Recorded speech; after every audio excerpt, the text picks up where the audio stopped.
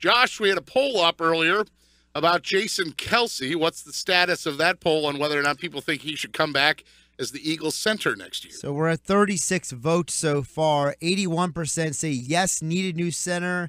19% said no, he's the best option. And of course, uh, Pete, you brought up a little bit to me during the break that uh, the Eagles have signed uh, guard tackle Dallas Thomas to a reserve futures contract, the 2013 third round draft pick by the Dolphins, started 26 games for Miami. So we'll bring John McMullen into the conversation. John, how you doing today? Doing well, guys. How are you? Good, John. Doing pretty good. So it seems like, you know, with the Eagles, a lot of the conversation yesterday was about Kelce.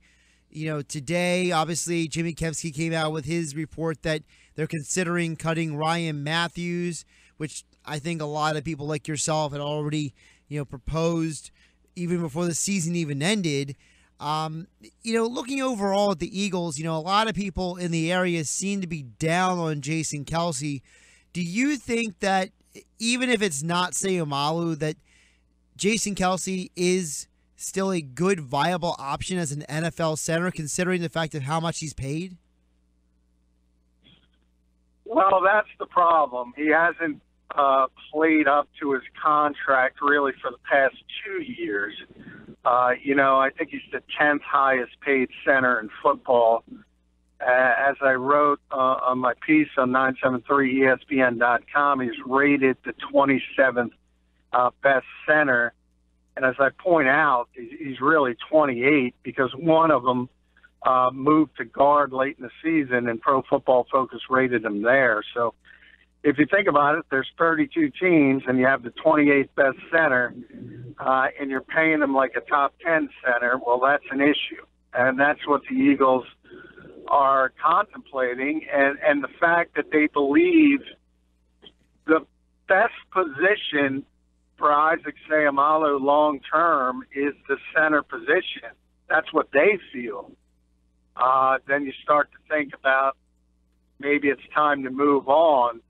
Uh, if you can't restructure a deal of that nature, or you simply think Seumalo would be an upgrade. Uh, and those sort of tea leaves started early in the season when you started to hear the whispers that Seumalo was looking really good and they projected him at center. I think that was the start of all this. And, uh, you know, the Eagles would love to get something in return and trade him. Uh, but I, I think it's leaning more, if I'm going 50 50, it's leaning more in the direction that Jason Kelce's not back uh, for the 2017 season. John McMullen with us, our Eagles insider for 97.3ESPN.com. You can read his work on our website. And John, I know you retweeted out today the tweet from the NFLPA talking about the Eagles carrying $7.933 million of cap money over from 2016 into 2017. How does that work, and where does that number put the Eagles in the scheme of things? Well, the Eagles don't have a ton of cap space to begin with. Uh, about 7.2, 7.3 million under the projected cap, which will be set in March, but it's going to be around 165 to 170. Uh, so if you put it at 168, uh, they don't have a ton of cap space. So that helps a little bit but when you look at it as a, as a whole, compared to some other teams, Cleveland, for instance, has about a hundred million dollars under the cap. San Francisco has about eighty. Uh, the Eagles don't start with a lot of cap space, but hey, you don't have to worry about Howie Roseman as far as contracts go. If they want a player, he'll create the space and part of it is moving on from certain players. It might be Jason Kelce. It, it would almost certainly be Ryan Mathews. Connor Barwin uh, is in that conversation. Even Jason Peters uh, is a possibility if he doesn't restructure his contract. So there's a lot of ways, and he's very inventive. So I never worry about that part of it uh, because that's the strength of Howie Roseman's game, so to speak is juggling the salary cap. So on paper, it doesn't look good, but don't worry about it. You mentioned a bunch of names there. Uh, uh, would um, Leodis McKelvin or Mychal Kendricks are they possible cap casualties as well? Yeah, they are. Uh, I, I think Leodis more than I, I think the Eagles know uh, they have to make a significant upgrade at that position, and that means bringing in a number of bodies, not just one, uh, but they need multiple bodies at the cornerback position. Uh, and if they bring in the right people, uh, sure, you can move on uh, from Leodis McKelvin, but his contract is not really uh, that much of a, uh, a hamstring, and, and he's only got one more ye- year left on his deal. So I, I don't think it would hurt very much to bring him back. But if they think they've improved enough in free agency in the draft at that particular position, yeah, they could move on because they know how much of an upgrade they need at the position, and the guys who played there this season just weren't good enough. Let's get back to Jason Peters for a minute as we talk with John McMullen, our Eagles insider for 97.3 ESPN. Uh, didn't Doug Pederson say that he wanted Jason to be back? And Peters also said that he wants to keep playing with Wentz. I mean, all th- those comments seem to indicate that they're going to bring him back, and yet he's on your list. Yeah, Doug wants him back, but remember, Doug's not in control of the roster, uh, and Jason makes is scheduled to make a lot of money. And at his age, uh, you sort of the mentality in the NFL is it's better to give up on a player a year early than a year late. So I think the Eagles do want him back. I, I think Doug Pederson certainly wants him back, but not at his salary cap number. They want to restructure his deal, and there's a lot of ways to get that done. But if he's not willing to do it, then he could move on. I, I think if he is willing to do it, he'll certainly be back, but it remains up in the air. We're talking with John McMullen on 97.3 ESPN.com. Eagles Insider also covers the NFL for FanRag Sports. Uh, John, a couple of news and items around the NFL. Uh, the, the coaching staffs are slowly starting to fill up. Greg Olson, who is the guy who was fired by the Jaguars, now is going to be the offensive coordinator for the Rams. So Sean McVay continuing to hire people to his staff who are not just older than him in age, but also have a lot more experience than him. Yeah, that's a good idea as a first time head coach, uh, and certainly one that's that young uh, to have experienced guys uh, who have been through all the wars. Uh, it's something similar that I said last season when Doug Pederson got this job. Uh, I thought it was a tremendous staff that he put together, uh, and to get veteran coordinators uh, was a very, very smart move uh, because you are going to struggle as a first-time head coach in this league, uh, and and to get veteran guys that you can lean on uh, is always a smart decision. And and when you talk about Sean McVay as the youngest NFL coach in history uh, having a little experience at your side is, is certainly not going to hurt them. Speaking of new head coaches, Vance Joseph uh, came out and said that he wants to run a high paced, high tempo, fast attacking offense with offense coordinator Mike McCoy. But wouldn't I contend, John, that that all sounds well and good, but you have two very young quarterbacks still who yeah, they got a whole year of experience in the NFL under the belts, but they're not exactly, you know, elite level players. No, certainly not. I think, you know, one of the reasons, uh, sort of besides the health issues with Gary Kubiak, which were the main reason, obviously, he moved on and retired, but there was some talk in Denver that you know, Kubiak liked Trevor Siemian better, and John Elway wanted to get uh, wanted to move forward quicker with Paxton Lynch uh, the first round pick from last season. And if you think about it, what did Paxton do at Memphis? Uh, sort of that typical spread, high paced offense we all see at the college level. And I think that's where that comes from. Uh, they want to get to the Paxton Lynch era as quickly as possible. And to do that, uh, he's uh, he's very limited as far as what he did at the college level. Uh, so if you want to build up and you want to get him, to him as a starter, you got to sort of build around his strengths as a player. And I think that's where that mentality comes from. You know, in Denver overall, John, you know, I'm looking at that team. They definitely need to improve the offensive line. They need a little bit more depth of quality depth at running back. And of course, there were defensive deficiencies that came out. So, with the with the with the issues that they have with the cap, Denver has talking about the Eagles cap issues, but Denver has its own set of cap issues. What do you expect to see from John Elway this offseason? Well, yeah, you're right. I, I mean, Denver defensively, you can talk about their deficiencies, but if, you look at their talent level, it's as good as anybody in football still. And it starts with obviously Von Miller. If he's not the best edge pass rusher in the league, he's one of the top two or three. And then you have two lockdown cornerbacks, and most teams would kill for one. So when you have that in place, you should be able to build a really, really good defense.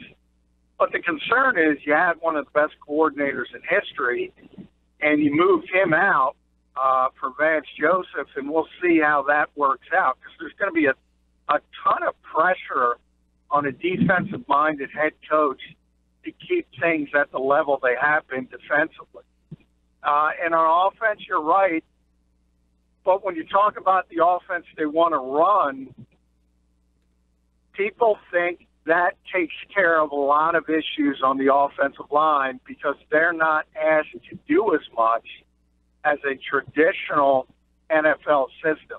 I don't like it. I don't agree with it. I don't think that's the right way to go. Uh, and you see the difference with teams that have really, really good offensive lines in this league. You saw it with Dallas and Green Bay.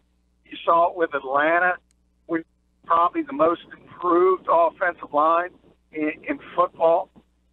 I, I don't understand why teams are going in this direction, but more and more teams are. Another coaching move that made me scratch my head today, John, when I saw it. So Mike Vrabel is the new defensive coordinator in Houston, but Romeo Crennel is still there. He's going to be the assistant head coach. What, what's up? What's up with the coaching shuffle down in Houston? Well, I think that's one of those things where Mike Vrabel is sort of a rising star in the profession, and they wanted to keep him. And the best way to keep him is to give him a prom- uh, promotion, obviously, uh, give him the defensive coordinator title, and you still have Romeo Crennel get kicked up to assistant head coach. So basically, you have two guys working in concert uh, and it was the number one defense in the NFL without J.J. Watt. And hopefully J.J. Watt's healthy and gets back. So you can imagine how good they would be there. Uh, I don't think that's as big as a deal as it may look on the surface. Uh, it's just basically about making a, a rising star in the coaching profession happy, and you still have Romeo Crennel and you still have a really good defensive coaching staff. In the Bizarro news department, Brandon Marshall has come out and said that he is underpaid at 7.5 million. I would say, John, that Brandon Marshall is also one of the leaders in the NFL in drops over the last two seasons. So, is he underpaid or is he paid just right? Uh, it depends how you look at it. He's a talented guy, obviously. But if you look at Brandon Marshall's history, it's pretty clear he wears out his welcome no matter where he is. And a player that talented, similar to Terrell Owens back in his career, shouldn't be bouncing around from organization to organization. But you have a guy that continuously creates problems and might be in this case, contract related. In times, it's been feuding with other players. In times, it's been doing stupid things uh, in the media. Brandon Marshall has a shelf life, and I think it's coming to an end with the New York Jets. Uh, but he is, hey, he's a very, very talented receiver. You can't take that away from him. Uh, and and that comparison strikes me because that was T.O. T.O. was a tremendously talented receiver that always wore out his welcome, but he always dropped the football too. People forget that. A lot of drops with Terrell Owens, a lot of drops with Brandon Marshall. You kind of overlook it though because of the volume and the big plays. Speaking of wide receivers, it is the week before Sunday's NFL championship game. We'll break down more of the matchups as Thursday and Friday come along. But some news coming out of the practices no Davante Adams at Packers practice, no Julio Jones at Falcons practice. Mike McCarthy and Dan Quinn both seem pretty positive about their receivers, but do you think, John, we'll see both of those receivers in the championship game on Sunday? Well, I think Davante's more concerning than Julio Jones. This was Atlanta's plan. They announced it. Uh, he certainly wasn't going to practice on Wednesday, uh, but he's going to be good to go for the game. Uh, and we'll see about Davante Adams, who got banged up against Dallas.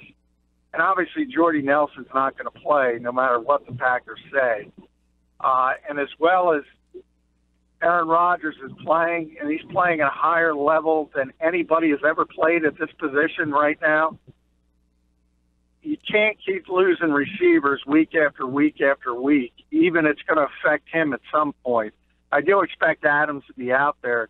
Question is, how close to 100% is he going to be? Uh, because the Packers are going to have to outscore the Falcons to win that game. Because the Falcons are going to score a ton of points against that Green Bay defense. Another uh, injury report coming in. Uh, Jeremy Fowler of ESPN is reporting that Ladarius Green was a limited participant at practice today. He's been in that NFL concussion protocol, but he's no better than 50-50 right now. So, do you what do you think the odds are, John, positive or negative that Ladarius Green plays on Sunday? And if he does play, how much could that possibly impact the game? Oh, that's big for the Steelers, and they haven't had it. Uh, you know, if you think about what the Steelers haven't had the entire season, with Martavis Bryant being suspended and Green dealing with all the concussions and injury issues, imagine if those two guys were on the field all season, how good that Steelers offense would be. Uh, yeah, he's a significant threat uh, down the seam, a much uh, bigger receiving threat than Jesse James. Uh, so that would be big for the Steelers, but you can't count on him. He's only played in a handful of games, and I don't think Pittsburgh is is you know going to rely on it. But if he's out there, it certainly helps that offense because it's another big play threat. John McMullen with us, our Eagles insider for 97.3 ESPN and our NFL analyst for FanRagSports.com. Well, John, uh, Josh and I were talking about it, I think, as we came back, and uh, Lady Gaga says she wants to perform on the roof of NRG Stadium at the Super Bowl halftime show. Uh, let's do two parts. One, your favorite Super Bowl performer that you've already had or that's gone by, and two, who you think should be there. Well, you know, I don't have as big as a problem. Uh, I, I, you know, when Bruno Mars was there, I was there live, and the fans loved it. It's not my cup of tea. Uh, I prefer the legendary, you know, the Stones when they were there, even Prince when he was there, uh, the Who. But you know, you got to be honest, Pete. I'm older than you. We're getting too old, so uh, the viewers this generation would rather see Lady Gaga, and that's the way the NFL is going. I don't have a big problem with it.